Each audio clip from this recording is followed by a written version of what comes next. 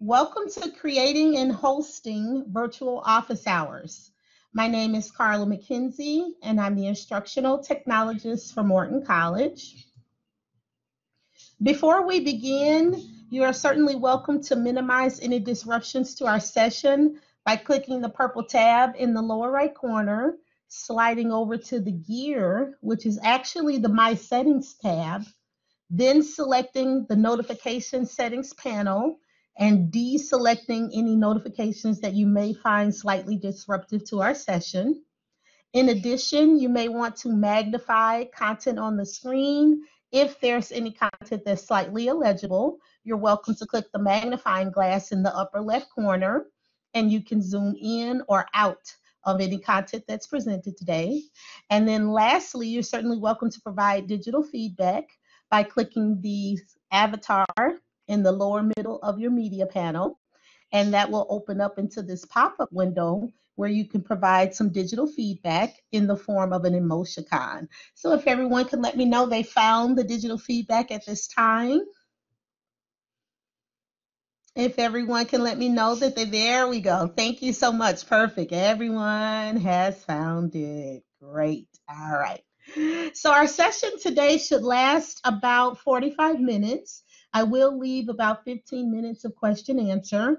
Our style today will be to present content and then demonstrate. You can certainly type questions into the chat. You are also welcome to follow up with me via email at carla.mckenzie at morton.edu. And I do have training guides and handouts available. So with no further ado, we're going to go ahead and begin virtual office hours and versus a virtual session. If you hold virtual office hours, that's a session that you're going to hold pretty much every week, maybe even two times a week, or maybe even per class. You might have one session for one class or one session for another class. But it's when students know that you're online and available to meet their needs. So just like stopping by your office if you were holding a face-to-face class, it's a repeating session that will launch directly from the course menu and the student is the one that determines what's being covered during the session. So you're pretty much going over what that student wants to talk to you about during that actual session. On the other hand, a virtual session that be held weekly also, but that's more or less your regular class session with your students if you are performing synchronous sessions. And lectures will be presented and possibly recorded. Students expect a lesson in the actual content. So they are not telling you what they need to cover, rather, you are determining what's going to be covered and how the session actually progresses. So I did want you to know the difference between what a virtual office hours are versus an actual virtual session. So I have a handout that I um, can provide to everyone. So this looks a lot different from any other presentation because I do want you to rely on this particular handout. So for example, together as a group, we're going to go through this and then I'm going to show you my screen. And then also you're able to simultaneously set up your virtual session. So I do want to reiterate to you, if you're going to create a virtual session or if you're going to create virtual office hours, they're pretty much done the same way. The difference is one, the student is going to tell you what, what they need to discuss, or two, you're conducting an actual lesson. So for both, you're going to click the create session button you're going to enter the event details just like you would any other session. So you're going to have the start date and the start time and the end date and the end time. Now your virtual session, since it's your actual class, you might have a repeat session, say every Monday and Wednesday, uh, 10 a.m. to 11 o'clock. So that you may have a repeating session. And then you may also provide a description for or allow early entry. All of those are up to you. It's probably going to be a repeat session. Then you're going to click the create button to save it. Now, if you need a guest link, that guest link will not be available, just like here, until you first save the session because you're creating a brand new session. So it does not give you a guest link until after you click create. Once you do that, then the guest link will be available, and then you still will need to save here a little bit later as well. So I do want to let you know if you have a repeating session, the start date and the end date will be the same. In other words, if the session repeats, you're going to have to click this checkbox and then let Blackboard do the math for you. In other words, some of my faculty have been giving an actual end date and giving an end time, and they're running into trouble. So I don't want that to happen to you. Make the start date and the end date the same, but the start time is going to be different and the end time is going to be different. So if you have a session that's on Mondays and Wednesdays, every Mondays and Wednesdays at 8 to 9, you just leave the start and end date the same and you indicate how many occurrences it's going to take for that session to end. So if it's all 16 weeks of the semester, then you will select this um, every week right here, every Monday and Wednesday. You select the days and then you indicate that this is going to end after five sessions. So that's five weeks. Or this is going to end after 16 sessions, and that's 16 weeks. And you will get 16 different sessions. You will need to go in each of those individual sessions, but your guest link does not change. So session one will end after week one, and session two will then begin. Okay, so I just want to kind of make that very clear to you. Next, if you are in your virtual session, you're going to join the session that we just set up. You're going to click the session menu, which is right here, and then you're going to start the recording.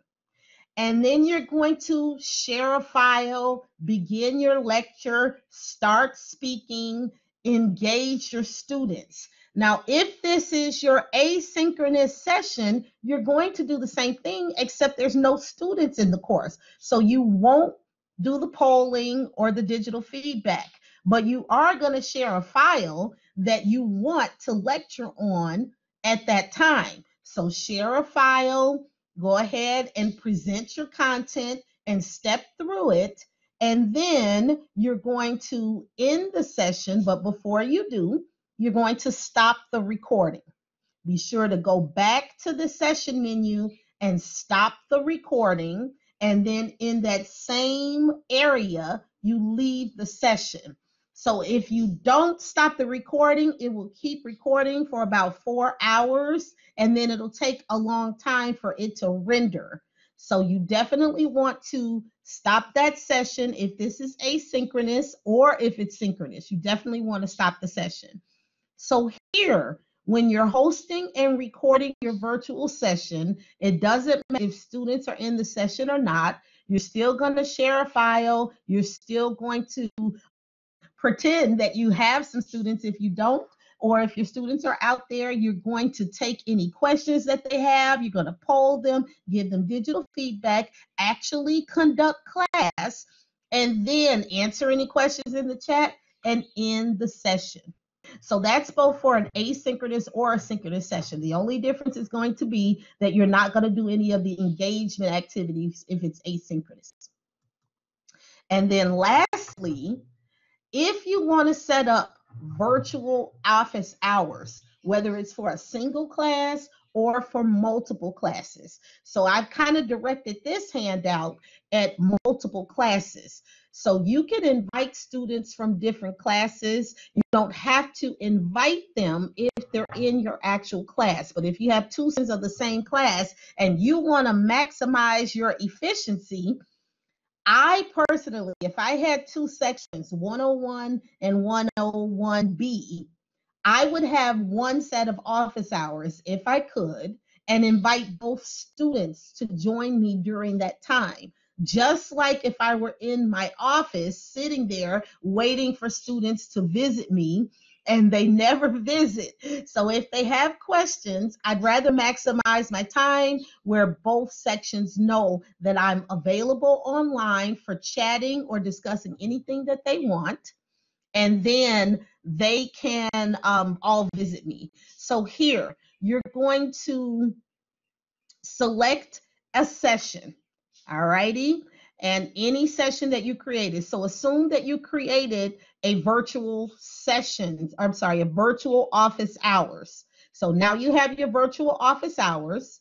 You access your repeating virtual office hours, not your virtual class, but your virtual office hours. Copy the guest link from your virtual office hours section then you're in your course menu, you're going to create a web link.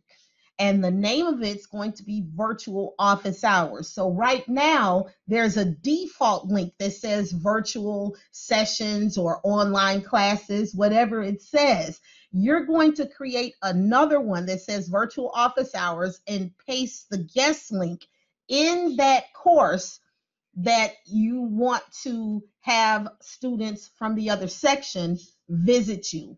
So here in your actual course, you're going to create this one in your current course so that your students can come directly to your office hours section or you're going to also create a web link in every course you teach if you want the students to visit you all at that same time. Make it available and then submit. And you'll have a brand new virtual office hours link. The link never changes. This guest link will never change.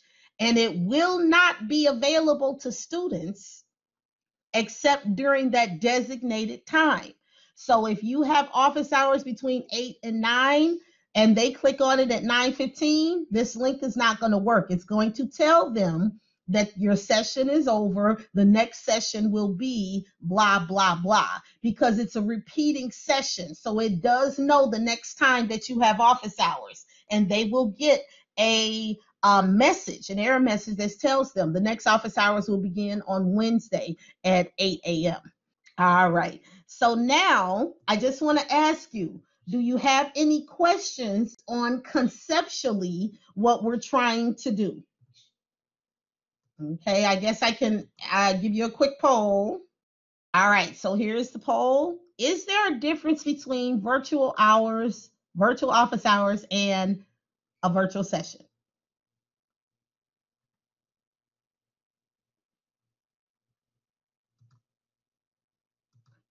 All right. So it looks like everyone, okay, so most people are saying yes, there is and a couple people are saying no they aren't they are created the same way but yes there is a difference between the actual virtual office hours because you are there to answer questions for the student a virtual session is when you're going to lecture to that actual student to that student or a group of students Okay, so very good. So right now, I'm going to share my screen with you and I'm going to demonstrate both of these.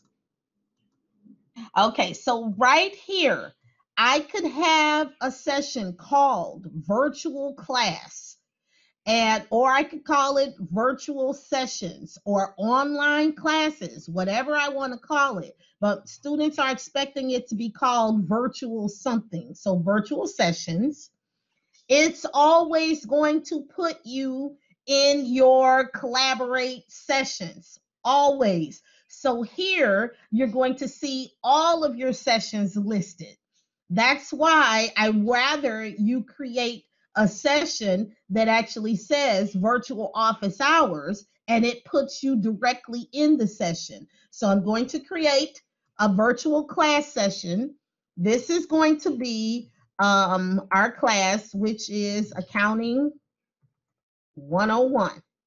And it's going to begin next Monday, and it starts at 10 a.m. and it ends at 11 um 1150 not quite sure of the classes 1150 all right. And this session starts and ends on the same day because it does. You have a course that starts at 10 and it ends at 1150 and then the class is over except it's a repeating session so it's every monday and wednesday uh, every week hang on there we go. All right. So it's every Monday and Wednesday, and this course goes for 10 weeks. So every Monday and Wednesday, I'm going to meet, and it's not going to end. Okay. I'm going to come in and I'm going to lecture for the entire hour and a half uh, every Monday and Wednesday for 10 weeks. Create. All right. So that's that one.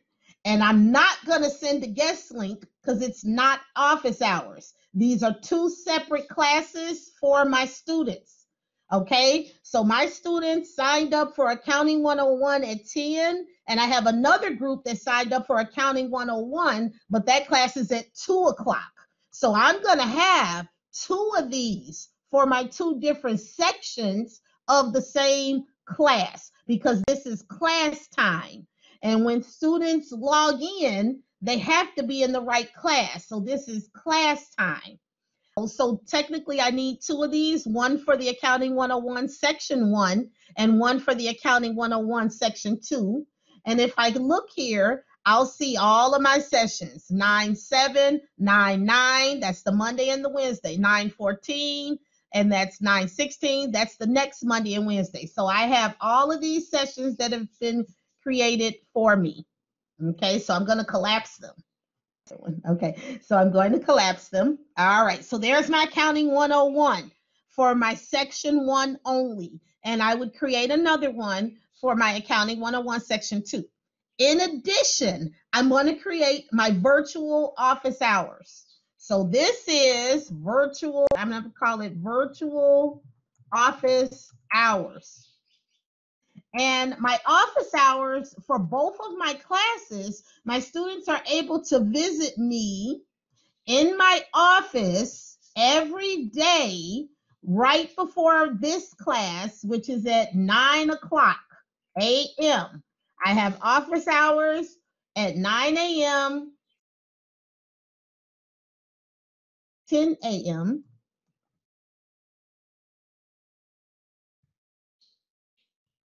Okay, so for every single every Monday. So let's say I have office hours from 9 until um, or at 8 a.m. just every Monday. We can do that also. Um, it doesn't matter if it's Monday or Wednesday. And I want the guest link. I need the guest link because I have to invite my students from Accounting 101, Section 2. So I want the guest link. I have to go ahead and click create. But before I do, this is a repeating session. Every Monday only, I'm in that session for office hours for 10 weeks. And it's a repeating session. I need that guest link. And so I'm going to click create. Now I got the guest link.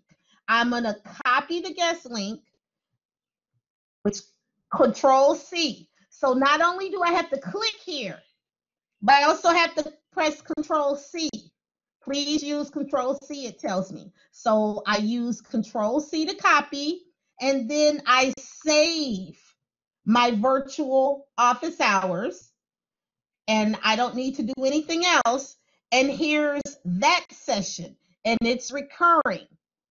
And so what I want to do is go and click the plus symbol, get a web link, and name it virtual office hours. And I'm going to paste the guest link and I'm going to make it available to my students. And then I'm going to click submit.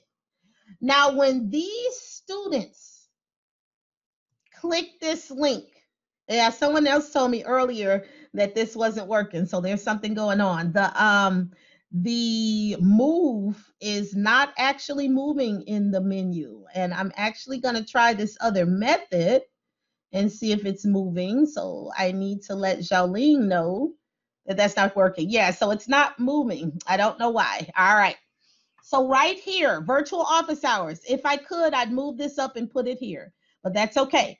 Now, when my students click this, and I'm going to create this link in this class, and I'm going to create a link just like this in my 101 section 2. I'm going to create this link in two classes so that when all of the students click it, it's going to put me directly in my session. And this session has not started yet. The next one is going to be the next time I have office hours. It's very nice that it tells me or tells them that that's going to be August 24th at 9 a.m. Join at that time. And then you can just click the link here to go back. All right. And so I'm going to come back and see if there's any questions. Do we need to schedule all of your virtual classes or do we go directly into the course room? Your students may not know. That's a good question, Maria. I use the course room just to record asynchronous lectures. So that's going to be up to you. I personally would schedule them and I would only use the course room for asynchronous, but it's still just a room. If you don't have any classes listed in your sessions, then your students won't get confused. But if you have another session listed and your students i couldn't find you. I clicked on the session and i didn't know. I clicked on it and it said that it didn't start yet you know? So you don't want to give them any opportunity to not be able to locate you as a matter of fact i typically tell faculty to lock the course room i usually tell faculty that this course room is available at all times and students can be in here without you so I usually have you guys to lock that room so that the students don't go there, but they always consciously click on your course, which is right here. So that's kind of the way that I would do it. Is the course room going to be explained in the Use and Collaborate course? Yes. Uh huh. I do explain it. Mm-hmm. Yes.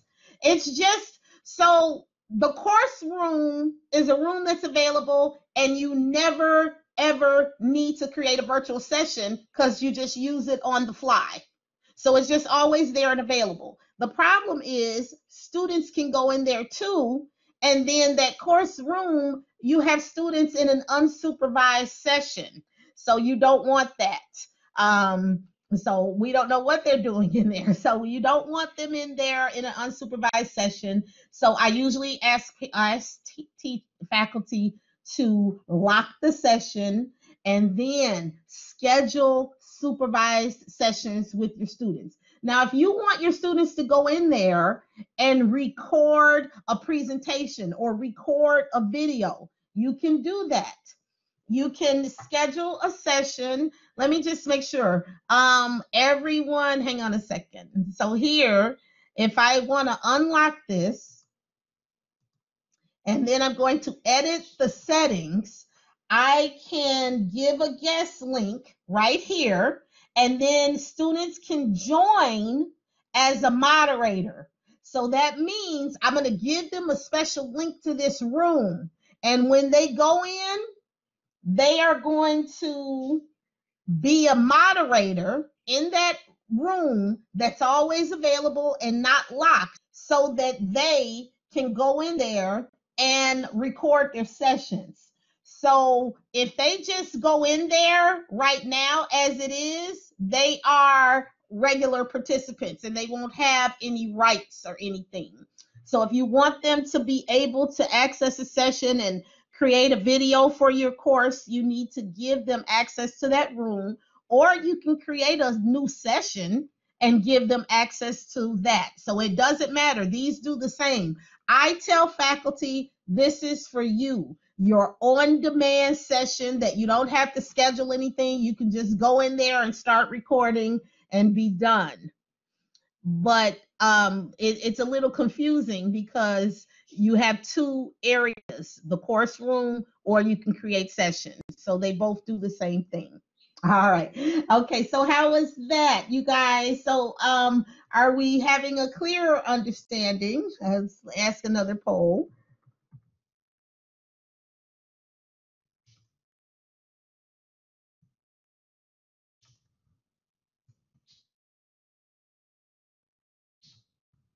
Okay. So yes, both.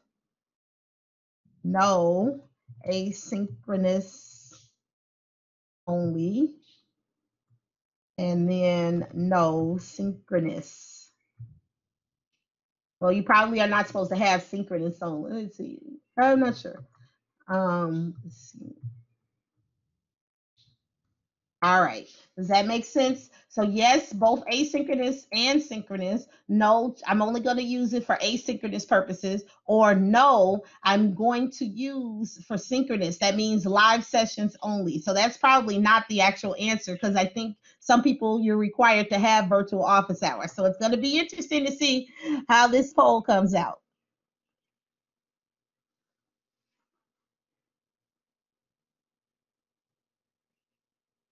All right. So most persons are planning to use both. Perfect. And now I know that you know what both are, what the difference between the two.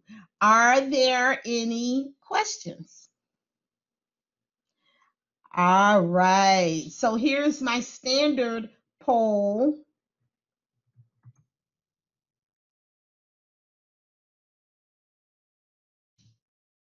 Okay, so here's my standard poll.